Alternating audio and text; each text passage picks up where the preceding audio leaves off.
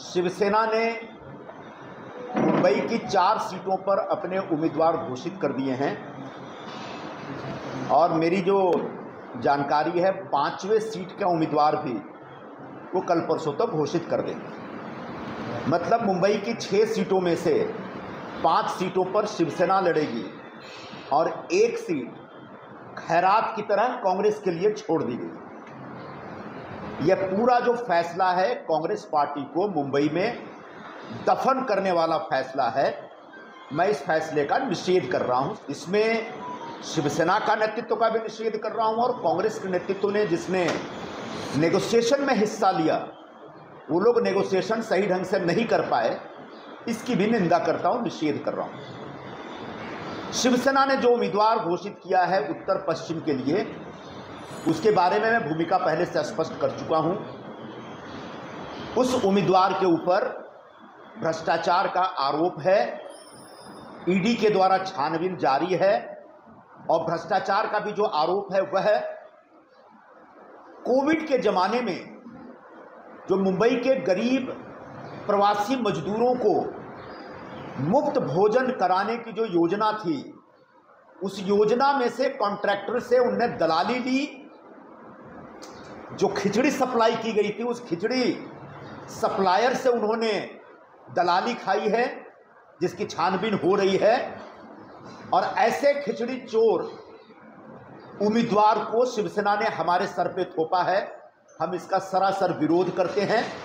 कम से कम मैं ऐसे खिचड़ी चोर उम्मीदवार के लिए काम नहीं करूँगा, ये मैं आज घोषणा कर रहा हूँ। दूसरी बात, कांग्रेस पार्टी का नेतृत्व जो हमेशा भ्रष्टाचार के मुद्दे पर हाई लेवल हाई लेवल एक ग्राउंड लेते हैं। हमेशा एक हाई मोरल ग्राउंड जिसको हम कहते हैं, वो ग्राउंड लेते हैं। क्या इस नेतृत्व को यह नहीं दिखा कि हमारे क्षेत्र में जो उम्मीदवार पेश कर रही है शिवसेना, उस पर भ्रष्टाचार के आरोप हैं?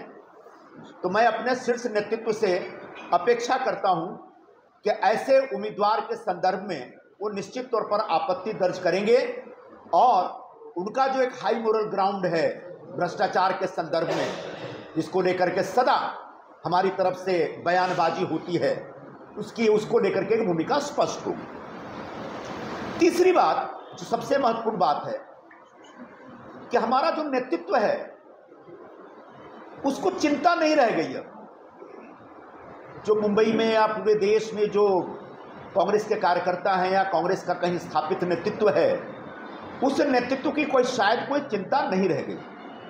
पिछले दस दिनों से, पंद्रह दिनों से मेरे से किसी की कोई बातचीत नहीं हुई है।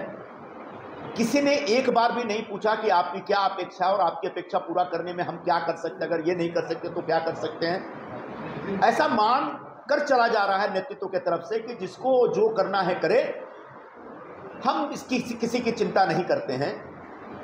तो मेरा मुद्दा यह है कि एक तरफ़ कांग्रेस का नेतृत्व तो पूरे देश में न्याय पर आधारित एक घोषणा पत्र जारी कर रहा है और हिंदुस्तानी समाज के अलग अलग वर्गों को न्याय दिलाने की बात कर रहा है।